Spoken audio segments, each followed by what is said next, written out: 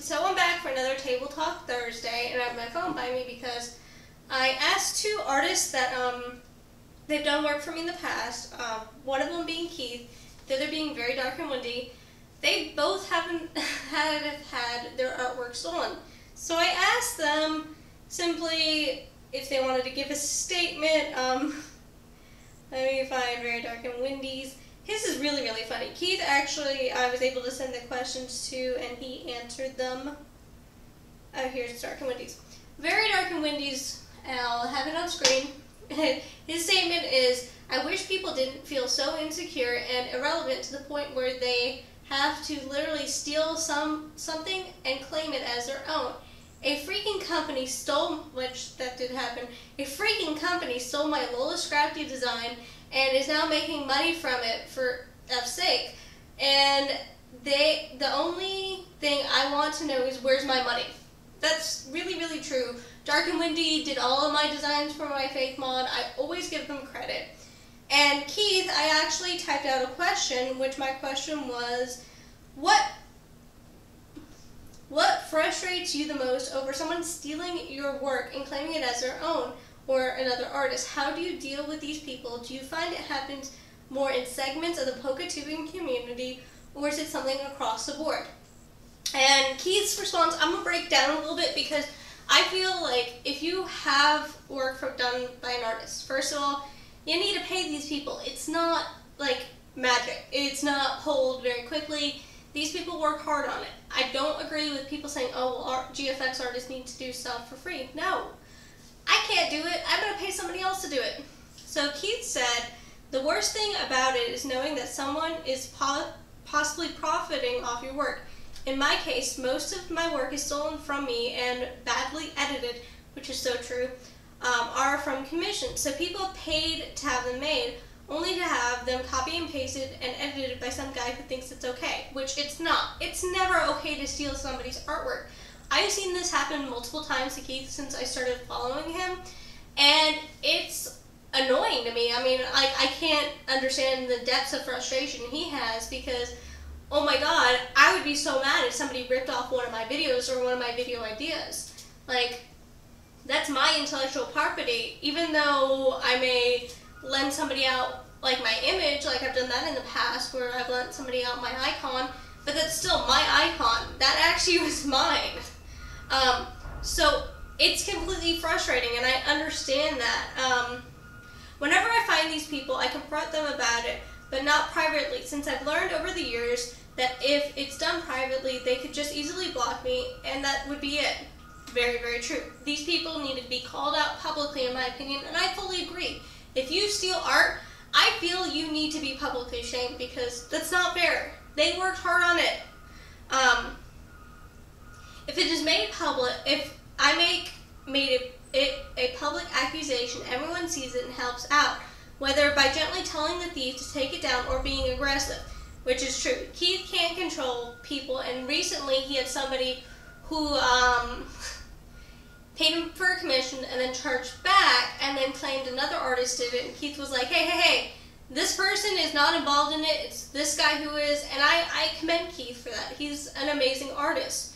Um, this makes a large a consider this makes a considerably larger impact to an art thief and lets them realize that taking art is never okay. Some people may disagree with calling out method, but it's I find it rather effective. I fully agree. Recently, a commit and he's talking about the thing I was talking about.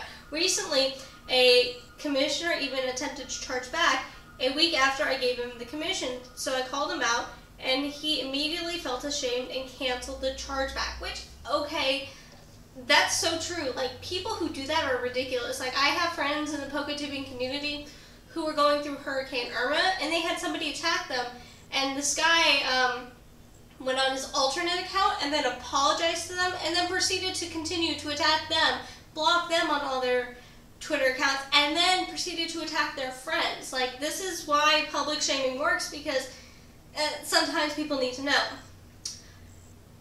Art theft is a community wide problem. I personally noticed that I have had more art thieves in the Spanish PokeTubing community, which I find interesting because if you follow Game Boy Luke, this happened to him too. It's not okay. It's not okay across the board. I don't care if it's an English PokeTuber that you're borrowing their image, you need to message them. Like everything on my channel, either I have looked to see who originally created it and messaged them and asked them if it was okay, or I fully credit the artist. Um, the only one I could not get a hold of is the guy who I used the inspiration for Fake Mom World, the Deviant artist. I contacted him, I messaged him, and I didn't hear back, so that's why his DeviantArt is linked in the description where I use it. Because it's not fair. It's really not fair to these guys because they work hard. Um, almost 70% of my art that are Hispanics, and what, and one time I found four of the five Spanish, I think he meant, of, oh, he found four of five of them within minutes of each following each other. I'm actually dealing with another thief right now who basically recolored a commission I made for someone. Yes, they are Hispanic, and I believe that it has to be said that I do not think ill of the Spanish PokeTubing community. So there's no Keith is not angry. Doesn't Keith isn't hating on the Spanish PokeTubing community. He's pointing out a major flaw in the community, um, which I fully agree with, and I'm trying my best not to generalize it as a community of art thieves. I have had a quite a few followers from that community that are quite ashamed of the Hispanic art thieves and call uh, that that I call out. Um, I agree with Keith. I mean, honestly, I've seen so many people like have their art stolen, their GFX stolen. Like Game Boy Luke recently had that happen to him where somebody stole his um, layouts that he made. Um, and it's ridiculous. Like, why would you steal somebody's artwork? This isn't fair to any YouTuber or any GFX artist or anybody in the community because all you're doing is hurting us. You're hurting people within your community. Why?